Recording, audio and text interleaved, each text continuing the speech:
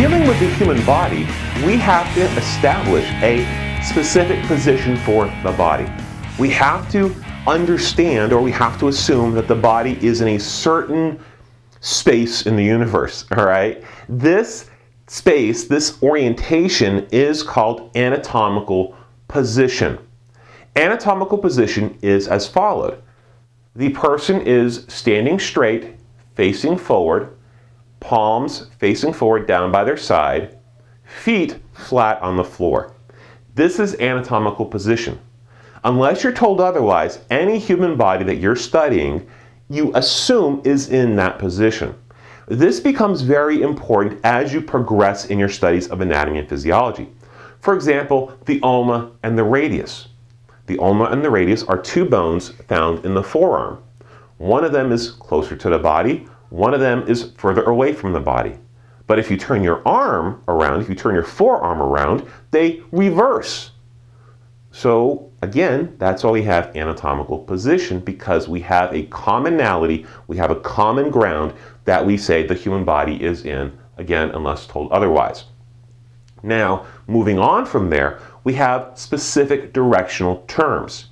For example, you might have just heard me say closer to the body and further away from the body. Those aren't cool in the world of anatomy. We don't like those. We have to have special terms because we can't charge the patient 20 to $100 an hour if we say closer to the body, further away from the body. We have to have special terms for these directions. The terms that you need to know, ding ding, time out, time out, time out, time out, before we begin talking about the terms. This might seem like a trivial matter. You might be asking yourself, why am I listening to this? You're listening to this because this is on exams.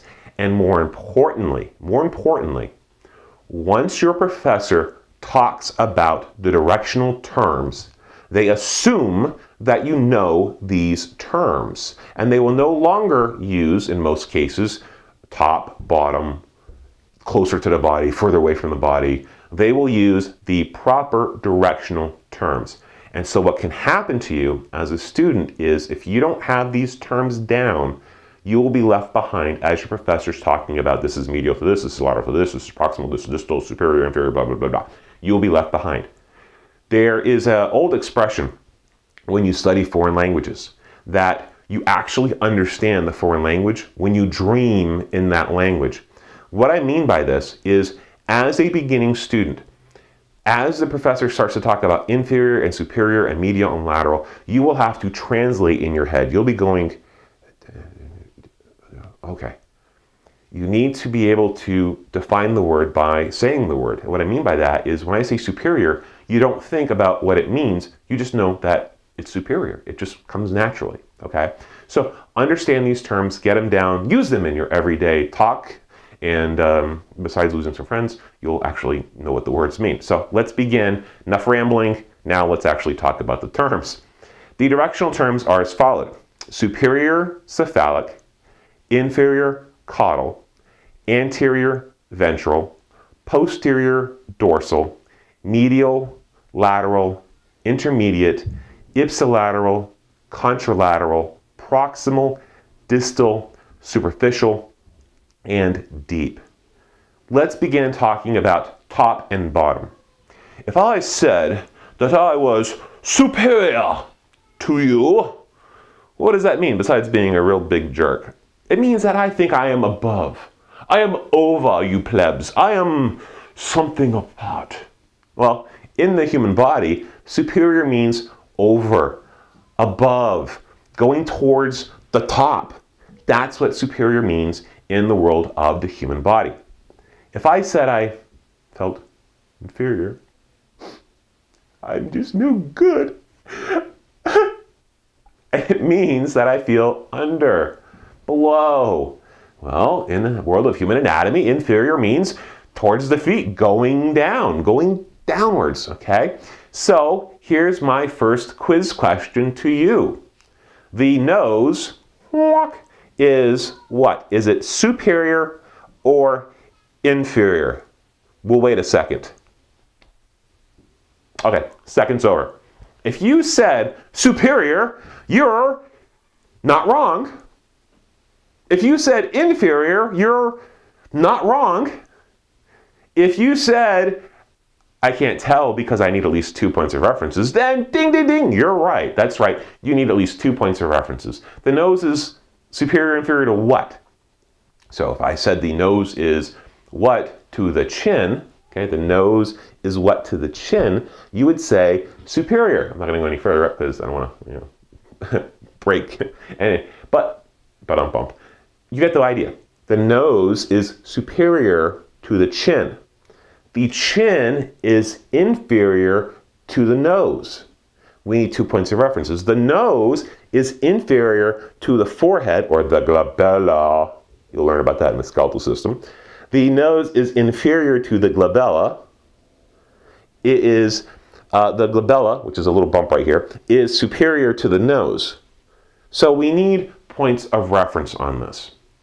We also have the two other words, which were cephalic and caudal. Cephalic and caudal are typically used more in the quadruped world as well as the embryology world. Basically means the same thing. Cephalic means going towards the head, while caudal means going towards the feet. By the way, $10 word for you, cephalgia. Cephalgia is a $20, $10 word for headache. So if you're in class and you want to be excused from class, you just say, teacher, teacher, I have a cephalgia.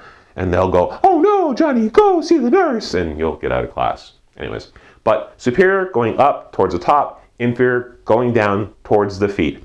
Cephalic going towards the head, caudal going towards the rump, going towards the posterior, going towards the butt, going down. Okay. The next two are front and back. We have a front and we have a back. We have anterior and posterior.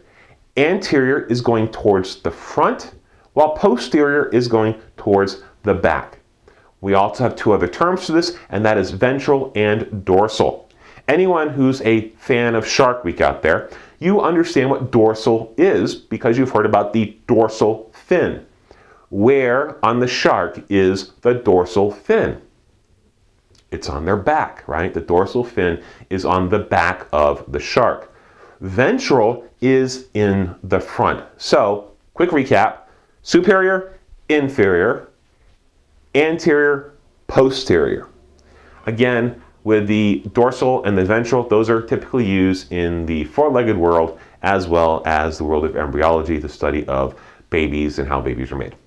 The next one is going in and going out. Imagine for a second that you can be cut into an equal left and a right side. Of course, that would probably not be too good for your health, but imagine for a second that you could. You have what we call a midline. This midline goes right down the middle of the body. Things going towards this middle area, middle begins with an M, and so does medial. Medial goes towards this midline, it goes towards the middle. Well, if we have something that goes towards the middle, then we have to have something that goes away from the middle, and that is lateral. And I just realized that if you're watching this video without any sound, it looks like I'm doing a little dance. Medial is going towards the middle, and lateral is going away from the middle. Intermediate is in between. It is in between two structures. So, for example, the elbow is intermediate to the forearm and the arm. And yes, by the way, there is a difference. This is your forearm, this is your arm. This is intermediate to both. The next one is close and far. Before we talk about this, imagine for a second a developing fetus. We begin by half of a cell, they come together, and amazing things happen. As the baby is being formed, how does this work? Do the arms form off to the side and join the body, or does the body sprout the arms and they grow out? Well, the body sprouts the arms and it sprouts the legs and they grow out from the core of the body. This is the concept with proximal and distal. Proximal means towards the point of origin. It means towards where it came from. Distal distance, distal distance is going away from the point of origin. So for example, using this arm again, the arm of the forearm, this would be proximal to the arm, going back towards the point of origin, while going this way would be distal. So the arm is proximal to the forearm, while the forearm is distal to the arm. Continuing together and apart. Again, remember our midline. If I have a mark here and a mark here on the same side of the body, they are considered ipsilateral, ipsi same. Ipsilateral means on the same side of the body. If I had a mark here and here, they are on the opposite side of the body. They are contralateral. Contra, contrary, conflict, opposite sides. So ipsilateral, same side, contralateral, opposite sides.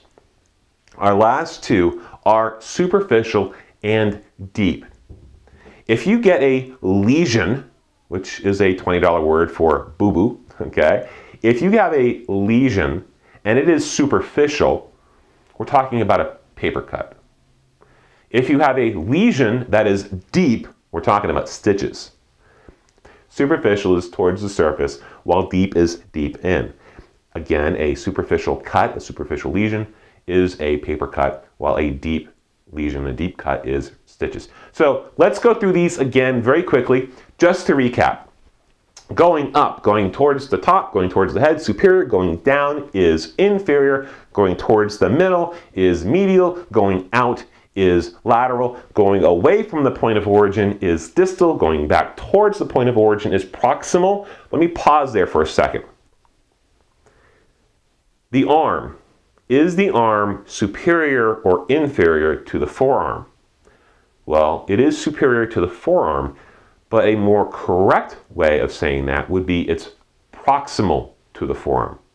Moving on. So superior, inferior, medial, lateral, proximal, distal, we did medial lateral, right? We also have intermediate between the two structures, ipsilateral, contralateral, superficial, ow, little paper cut, deep, ow, gotta go get stitches, boom.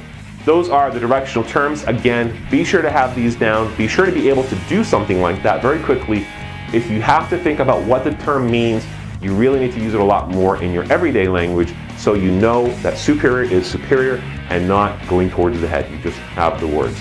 We're going to continue. We're almost done with our introduction to human anatomy. Hang in there.